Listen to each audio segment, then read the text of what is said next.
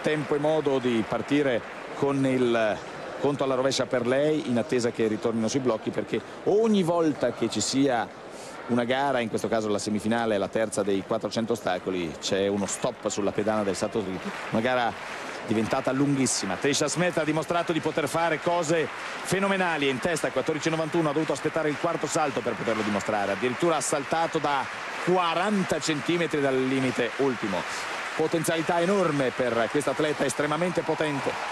Buona l'asse di battuta stavolta e più 15 più 15 si va oltre al muro del salto triplo.